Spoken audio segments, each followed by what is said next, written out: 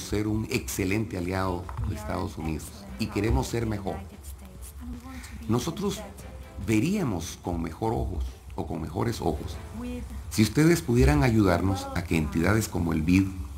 como el Banco Mundial o cualquier otra entidad financiera nos pudiera financiar para infraestructura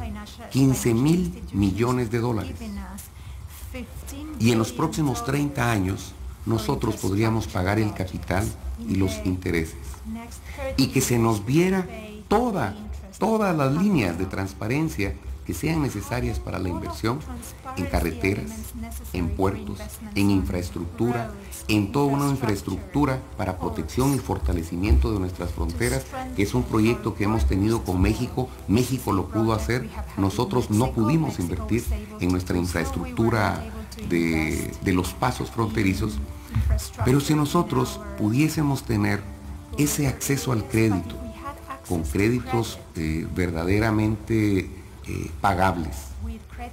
y con todas las posibilidades de que la inversión sea con transparencia, nosotros seríamos los más interesados en que pudiéramos fortalecer